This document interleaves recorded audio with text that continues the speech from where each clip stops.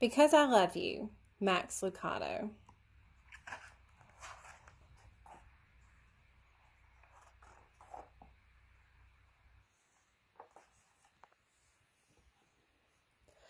Long ago, in a land far away, and unlike any you've ever seen, there lived a wise man named Shaddai.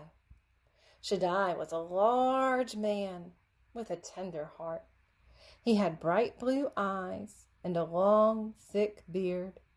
When he laughed, which is something he did often, his cheeks would lift until his eyes became half moons of joy. When he sang, which is something else he did often, everything stopped to listen. Tall aspens would bend, squirrels, butterflies, and birds would pause.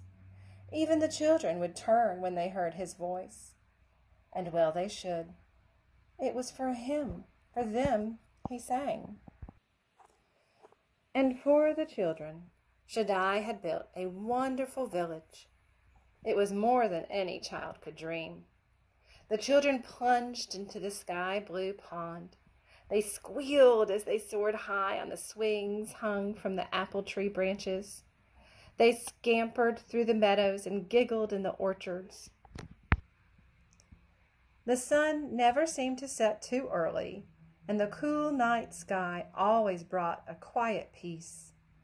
And most of all, Shaddai was always near. When Shaddai wasn't in the meadow with the children or in the orchards with the children, he was in the workshop with the children. They loved to be with him while he worked. They loved to smell the sawdust, hear him sing, and watch him carve a chair out of a log or make a table out of a tree. They would gather around him and take turns pressing their tiny hands flat against his great big one. Every night he would gather the children on the grassy meadow and tell them stories. Fascinated, the children would listen as long as Shaddai or their weary eyes allowed. The children loved Shaddai, and Shaddai loved the children. He knew each one by name. He knew each one by name, and he knew everything about them. He knew Lucy's love of birds. He knew Roland's fear of darkness. He knew Daphne was friendly and Spencer was shy. He knew Paladin was curious. When one of them called his name, he dropped whatever he was doing and turned. His giant heart had a hundred strings, each held by a different child, and Shaddai loved each one the same. That's why he built the wall. The wall was a high stone fence surrounding the village. Shaddai had built it rock upon rock. The wall was so tall it stood high above Shaddai. Even if he stretched his arms as high as he could, he still couldn't touch the top of the wall. He spent days building it, and as he built, he did not sing. A deadly forest stood outside the village. As Shaddai built the fence, he would often pause and look into the shadows beyond. Cruel thorns and savage beasts had hidden pits filled the dark forest. It was no place for the children Shaddai loved. Beyond the wall is danger, he would tell the children in solemn tones. You were made for my village, not for the terrible land beyond. Stay with me. It's safe here. But in his heart, he knew it was only a matter of time. The day he placed the final stone on the wall, he returned to his shop took a long aspen branch, sat down at his bench, and carved a staff. Shaddai stood the staff in a corner. I'll be ready, he told himself. Some time later, a boy ran into Shaddai's workshop. The sandy haired child, with searching eyes and restless energy, brought the maker both joy and concern. Shaddai! In one motion, the maker dropped his hammer and turned. What is it, Paladin? The boy spoke in spurts as he gasped for air. The wall! I found a hole! It's a big opening, sir. The boy's hand stretched to show the size. Someone could crawl through it. Shaddai pulled over a stool and sat down. I knew it would be you, Paladin, my child. Tell me, how did you find it?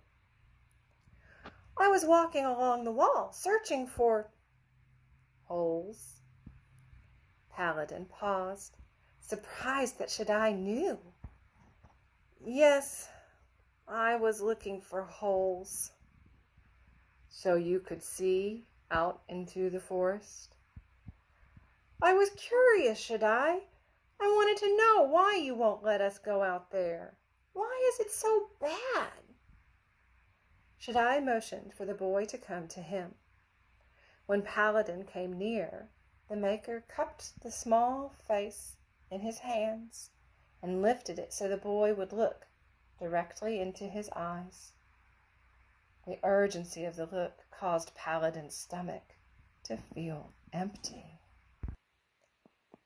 Paladin, listen to me. The lands out there are not for you. They are not for me. A journey into the forest will hurt you. You are not made for those lands. Let your feet carry you to the many places you can go, not to the one place you can't. If you leave here, you will not find the way back.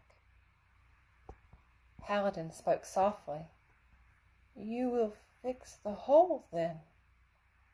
No, Paladin. I created the hole because I love you so much. But you just said you don't want us to leave. I don't want you to leave. I want you to stay with me. But I did make the opening when I built the wall. But if you don't fix it, said Paladin, the children might leave. I know, Paladin, but I want the children to stay because they want to, not because they have to. Paladin didn't understand. Uncomfortable, he turned to leave. He needed to think about what Shaddai had said. As he entered the sunlight, he looked back into the shop. There sat Shaddai, leaning backward, still watching. Paladin was confused. Part of him wanted the safety of Shaddai's shop, while another part drew him toward the fence. He looked again into the shop. Shaddai was standing now, not moving, but standing, his large hand stretched out to the boy. Paladin turned quickly away as if he hadn't seen. He walked as fast as he could, aimlessly at first, then purposely toward the fence. I won't get too near, he said to himself. I'll just peek out. Questions came as quickly as his steps. Why do I want to do what Shaddai doesn't want me to do? Why am I so curious? Is it so wrong to want to see beyond the fence? By now, Paladin was at the hole. Without stopping to think, he laid on his stomach and squirmed through just far enough to stick his head out the other side. I'll just take a quick look, he told himself. What could be wrong with that? Shaddai said he had made the hole because he loved us. I wonder what he's keeping from me. As if his knees were moving on their own, Paladin crawled farther. Soon he was through the hole and on the outside of the wall.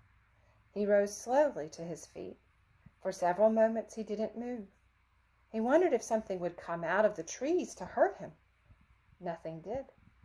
He relaxed his shoulders and sighed. Hmm, it's not so bad, he said aloud. It's nice out here. What was Shaddai worried about? Paladin began walking into the forest. Twigs snapped beneath his bare feet. Sweet flowers scented the air. I don't see any scary creatures, he thought. The trees were so thick he could barely see the sky. Just a few steps into the woods, he said aloud, to see what it's like. After a dozen more steps, he stopped. He liked the wilderness. Nothing to fear here. For the first time in his young life, he believed that Shaddai was wrong.